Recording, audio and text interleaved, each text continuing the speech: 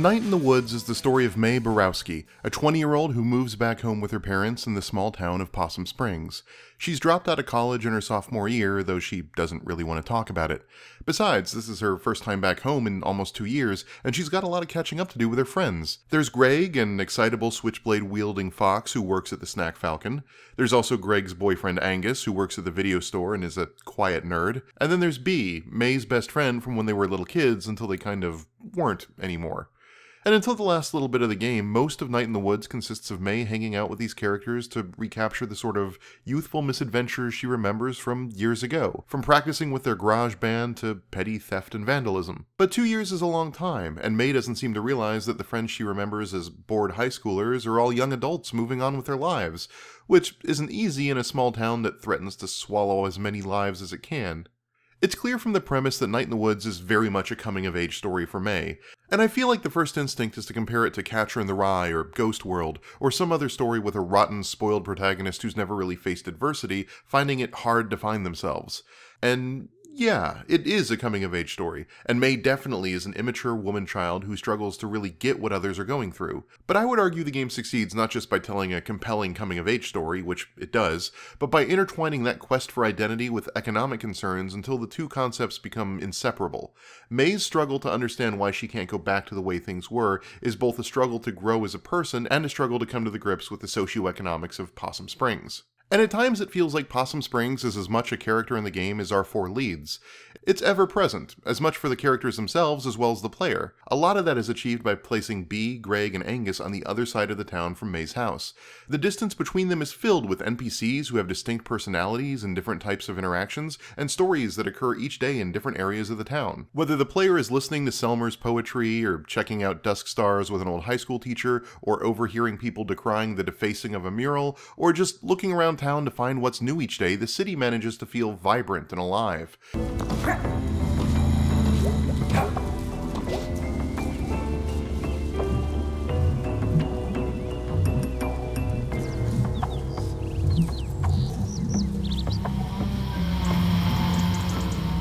It's also easily ignored if you're not really looking for any of that stuff, and I feel like this is one of the things people tend to criticize the game for somewhat unfairly that it's slow and that there's a lot of walking around that could just be edited out or condensed and I'm kind of cool on that criticism, because while none of the city stuff is required to beat the game or understand the plot, I feel like the intent is to encourage but not require players to develop a relationship with this town because it's a driving force in the plot, at once a nostalgic childhood home and an unescapable tomb for our protagonists.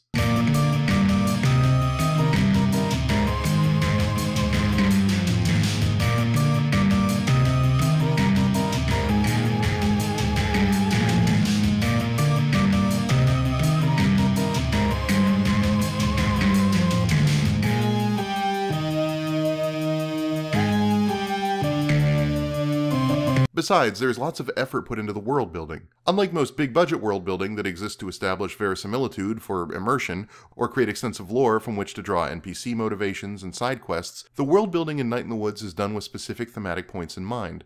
Possum Springs is a boomtown gone bust, a place where the jobs don't exist like they used to and everyone's just struggling to get by. Some of this is done in big, obvious ways. The abandoned mines say as much about the city's economic prospects as the abandoned food donkey but others are a bit more subtle. The old pickaxe serves not only as a major motivator for Bea's character arc, but harkens back to the days of Possum Springs as a mining town. I mean, it's a Main Street hardware store called the Old Pickaxe. The building that Gregg and Angus live in used to be a library donated to the town by the owner of the mines before it was privatized and converted into apartments. In either case, the shadow of the mining company hangs over both of them, which is not just thematically appropriate, but it's some nice foreshadowing. Or take Pastabilities, which isn't just a cute restaurant pun name, but is pulling double metaphor duty. First, it kind of bookends the game. Its closure marks the arrival of Mae's nightmares, and its reopening as a taco place signals their end. But more interestingly, when the crew sits down to eat at the Click Clack Diner, presumably a cheaper establishment than a sit down Italian restaurant, especially given the jokes about how bad the food is and how many rats there are, having Mae lament the fact that they didn't go to Pastabilities establishes how she isn't quite connected to the financial realities of her friends who ask if college girl Mae is too fancy to eat with them. It's a character building moment and one that only works if you pay attention to the town around you, and there are lots of those sprinkled throughout the game. Anyways, the first two thirds of the game is relatively episodic in nature, with a structure that lets Mae wake up, usually in the late afternoon, talk to her mother on the way out the door, find the friends she wants to spend time with today, and then hang out somewhere around town before coming back home to speak with her father and watch some TV, and maybe play some Demon Tower before going to bed.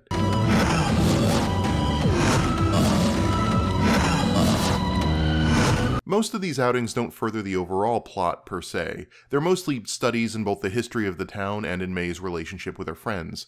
And it's here that the game is at its strongest, exploring the lives of these 20 year olds trapped in a town that feels like it's slowly decaying around them, how they've adapted to the realities of adulthood in Mae's absence, and how that impacts their relationship with her.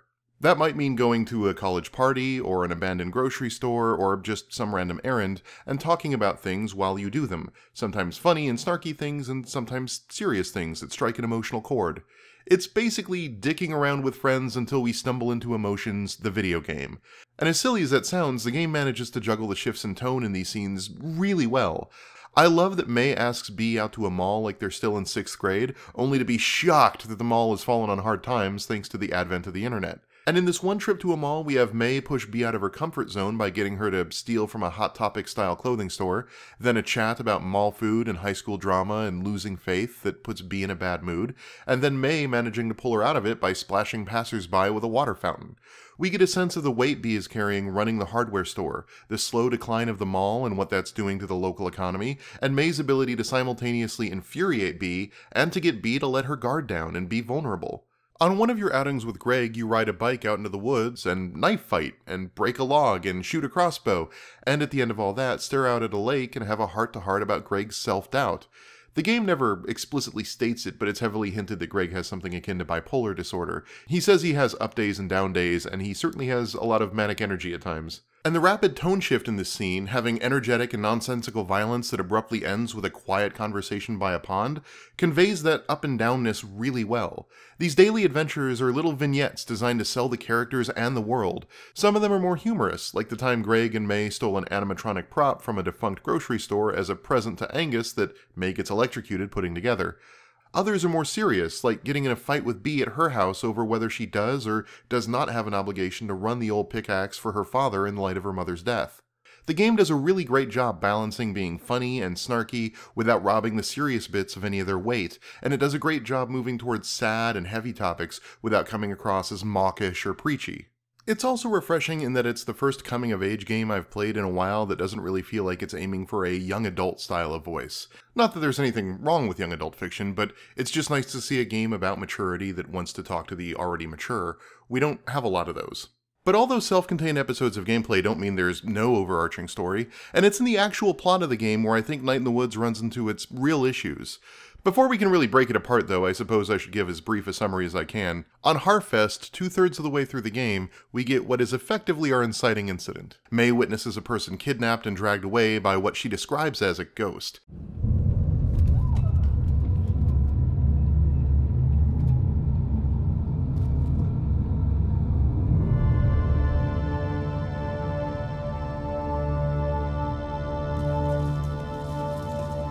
Then we return to our episodic structure, but now instead of fun time hangouts, Mae wants her friends to help her investigate these ghosts and put a stop to their plans. So you're still hanging out with your friends every day, it's just now the daily hangouts tend to end with Mae and her friends seemingly chased away by these ghosts as they continue looking for clues. This culminates in a breakdown of that daily episodic cycle for a more directed approach that moves Mae and the player directly from scene to scene. Ultimately, we get the big reveal that there's a cult worshipping what is basically a Lovecraftian god who lives deep in the abandoned mines. The cult says that this monster has promised that the town will prosper if they keep feeding it people. The monster can also sing into people's minds via a form of telepathy, and that seems to be what what has been giving Mae those nightmares, as well as her depressive malaise that caused her to drop out of college. Our protagonists try to leave the cult and return to the surface of the mine, but a particularly overzealous member attacks them and causes a cave-in, dooming the cultists. Then Mae has a final run-in with the monster in the mine, and then we head to the epilogue. So, there's a lot to unpack from all that. The first thing to me is structural. Having played through the game twice, I think it's clear the intent is for there to be a slow build that continually gains tension until it explodes for a rapid pace finish. But that only works if you can see these threads slowly running together, if you can see these disparate forces on a collision course that's unavoidable even as we just go through our daily routine. Like, the game mentions that Casey is missing in passing, but unlike Life is Strange, he isn't a focus or a plot motivating factor. You find an arm with a weird tattoo that seems to hint at a bigger story or reason for it to be there, but the arm itself never comes up again. You get all these hints, but none of them seem to be pointing towards anything because they never get called back. They just sort of exist and each point to their own thing. Until you get to the end of the game, you have no idea that Mae's abstract dreams, her dropping out of college, her drunk mentions of college being just shapes and Possum Springs being more than just shapes, the severed arm outside of the diner, the ghosts, Casey's disappearance, and the fate of the town itself are all interconnected. And as a result, the end has a bit of structural slash tonal whiplash, like watching a more loosely structured film suddenly snap into a rigid narrative with a clear villain at the very end. Imagine if the last 30 minutes of Clerks or Ghost World suddenly started telling something akin to a Scooby Doo story. That sounds kind of insulting because of Scooby Doo, and I don't mean it to be, but more of a critique of the structure. Maybe a more appropriate reference point would be Spike Jonze's adaptation. The point is, what had been more episodic and aimless character studies set in grounded reality suddenly becomes about beating a supernatural big bad, and the stakes go from the internal to the external. And that abrupt shift is jarring, but it's also kind of unavoidable given the structure of the narrative. The fact that the inciting incident doesn't happen until two thirds of the way through the game means that Night in the Woods has to tell a whole separate story about this evil underground god in a condensed time frame. And really, given the choice between tipping the game's hand early with regard to its supernatural content, or letting the realness of Possum Springs breathe for a little bit, it probably was the smarter choice, even if it means the ending feels a bit disjointed from the rest of the game. But the other way to look at the ending is thematically, and I think it's far more successful in that context, if a bit on the nose. Like, so on the nose, Bea actually brings it up multiple times, such that it is no longer subtext but stated plainly in the game.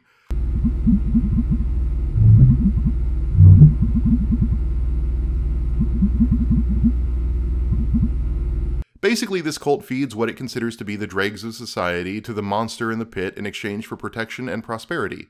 They believe the mines will one day reopen, that the jobs will come back, that the town and the lives they built around it can be saved, and everything can go back to the way things used to be if they just continue with this horrible policy of killing people society has turned its back on long enough and hard enough. It's a really thinly veiled metaphor for the sorts of economic policies that have been hurting the people of Possum Springs, an allusion to the sorts of rhetoric that insists, we'll bring the jobs back, we just have to slash enough support systems for the poor and struggling in order to lower taxes enough to entice the businesses to return. The cult, blinded by nostalgia for a dead town, did the unthinkable.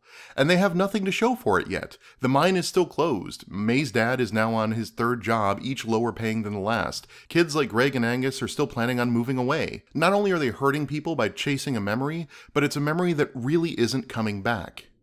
And it's here that Mae's personal journey and the socioeconomics of Possum Springs fully intersect, because the ideas that drive the cult are really what this god represents a longing for a thing you've lost that's so strong it twists you inside and removes your ability to move forward from it, that paints everything in the now as boring and ashen and, well, like Mae said, just shapes, and the only thing that matters is recapturing what was lost. The cultists felt this monster whispering to them so strongly they felt justified in murdering people to save their vision for Possum Springs. Mae felt it whispering to her at college when she was lonely and friendless for a year and a half, driving her to drop out of school and go back home to where she had friends. And Mae also felt it before, when her grandfather died. The intro lets you pick either a natural or economic disaster to happen on the year that he passes, and it's only at the end of the game it's clear that that happened because the monster in the pit had not been fed. It's also why it was reaching out and first found Mae, who was longing so very much for her grandfather to be alive that at one point during a baseball game the monster's influence over her grew so powerful that she attacked some kid and put him in the hospital. This inability to move past things that have been lost, a town's economy, a dead grandfather, the comforts of childhood, is the source of pretty much all of the ills in the game. So Mae's arc is to be one that goes from someone who is consumed by this monster to someone who rejects it. She decides to embrace the now, to celebrate what she has over what she's lost. In her own words, when my friends leave, when I have to let go, when this entire town is wiped off the map, I want it to hurt bad. I want to lose. I want to get beaten up. I want to hold on until I'm thrown off and everything ends. And you know what? Until that happens, I want to hope again. This is Mae coming to terms with all of the loss in the game, both personal and communal. She's recognizing that she can't hold on to Angus and Gregg if they really want to move away from her, that she can't go back to the way things once were with Bea, that her grandfather will never tell her another ghost story, and that the town isn't going to suddenly have boom times again. Things fall apart, but rather than mourn for the past, she chooses to savor what she has before it too is taken away. In the epilogue, they kind of make light of the fact that the world is coming to an end, and that apocalypse might be literal, they may or may not have just actually angered an elder god, or it might be metaphorical for normal socioeconomic forces that dismantle the town as jobs and people continue to leave. Or it might just be the end of Mae's childhood as people move away and grow and her hometown becomes a place she doesn't recognize anymore. But whatever the future holds, whatever apocalypse awaits them, for the moment these four kids have each other and until life rips them apart, they're going to cling to that. Like the game's tagline says, at the end of everything, hold on to anything. So, yeah, I think the ending works thematically, even if its structure makes it feel a little stilted and awkward. For the record, the game benefits a lot from a second playthrough, both because you can catch up with whichever friend you didn't spend as much time with, there's no way to do everything on one pass through of the game, and because you can see all of the forces that were once invisible to you driving the plot. But as much as I enjoy the big picture thematics, Night in the Woods is a game I'll ultimately remember for the intimate moments. It's a game about how longing for lost things on the individual level prohibits personal growth, and how large scale weaponized nostalgia literally kills people, sure. But it's also about Mae watching late night TV with her dad before bed, staring up at the stars with Angus on a chilly fall night, helping Bea put on a play for Harfest, or finding out that Selmers is actually a much better poet than she let on. It's kind of weird. Night in the Woods asks us to hold on to anything at the end of everything, implying that the pickings are slim. But really, the game's overflowing with small, beautiful moments shared between friends and family. Whatever end is coming for Mae, however literal or not, she's lucky to have so much to hold on to.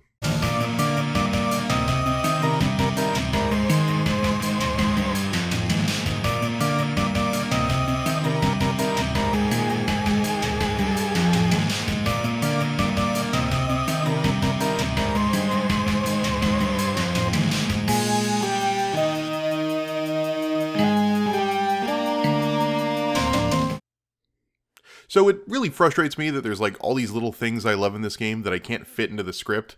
Like, I love how Bea finally calls Mae Mayday at the end of the game, or how Mae's mother and father are rarely home at the same time, resulting in all sorts of implications about their work schedules and the stress that might be putting on their marriage, and whether that's done for financial necessity, or the game's motif of alcohol as an ill omen by tying it not only to the monster creeping back into Mae's dreams when she goes and gets drunk at the party and then has the first dream that night, but also by tying it to her dad's abuse According to Mae, he had to stop drinking because it made him a danger to her and her mom. And when Angus's dad comes up, who is terribly abusive, Mae's dad says he knows him back from when he would visit the bar regularly. So yeah, alcohol equals bad is a bit of a motif. Oh, or how framing the nostalgia death cult as ghosts paints the town as ostensibly haunted by its past, which plays into that whole Rust Belt Gothic thing they're going for, which is probably a whole separate reading you could do of the game. And I didn't even do the relationship of Angus and Gregg justice, especially cast against the rest of the game's themes of being saved by relationships in the face of nihilistic oblivion, of which both of them feel very much susceptible to. And again, that could be its own separate topic of discussion. Also, Demon Tower, didn't really get a chance to talk about that, but. Oh, and Sharkle. Sharkle!